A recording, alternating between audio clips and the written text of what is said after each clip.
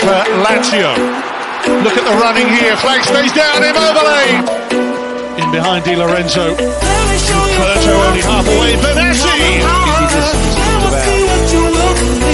Dula stepped in anyway. And the shot eventually coming. Lampadula on the rebound. Baseball, he flicks it in. The header.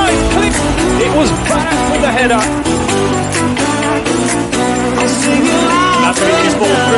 360 continent.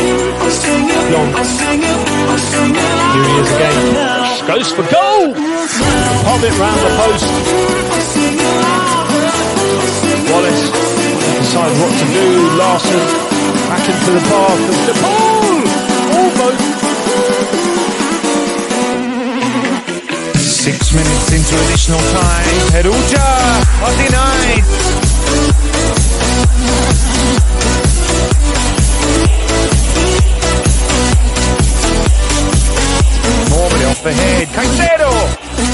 Sliding into the box. And still Lautaro. And Lukaku. They can't force it. They couldn't catch up to it. Feel they need something spectacular to make the final. That's what uh, Eriksen can produce this time. Chiesa. Lovely stuff from Fiorentina. Just beautiful. And it really did. But Ospina, give it full credit. It's a terrific save. Mattiello. Good save from Miguel Veloso arriving. Miguel Veloso lets fly. Takes it forward. The flick on his drop.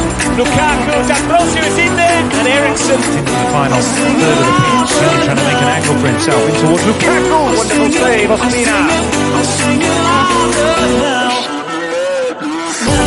Fades, Candreva, will he go alone? Sighted goal! An excellent stop from Bidani. Pull back, Sanchez rejecting the shot. Eriksen does. Wants to double up on the goal and the glory. Out wide. Plays it inside Lasagna! And that could easily have been goal number two for Udinese. Rocha then whips it in! And it's cleared off Adida from Vicari. The flick. Brilliant save. One-handed. Little flick on from Castrovilli. Keep out what would have been a second for Fiorentina there.